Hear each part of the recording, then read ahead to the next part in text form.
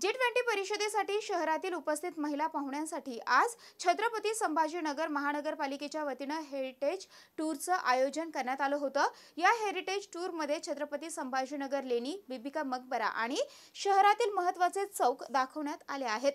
विदेशी पाहुण्यांना देखील छत्रपती संभाजीनगरची भुरळ पडली आहे. काही पाहुण्यांनी औरंगाबादचे नामांतरण झाले ते आम्हाला माहीत नाही. मात्र औरंगाबाद लवली आणि रोमॅन्टिक सिटी आहे असे म्हटलं. आम्हाला इथे येऊन खूप आनंद झालाय अशा भावना त्यांनी व्यक्त केल्यात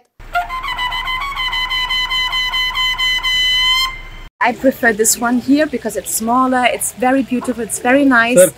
And uh, the countryside is just amazing. Yeah. Yes, I, we went to the caves this morning uh, to see the sunset, and it was just beautiful. It was so peaceful, and yeah, the whole world knows. I know it's the Ma- Akbar version, but I've heard of the story of both the Taj Mahal and this since I was very young. We know about the two monuments. So for me, it's really a dream. What's about caves?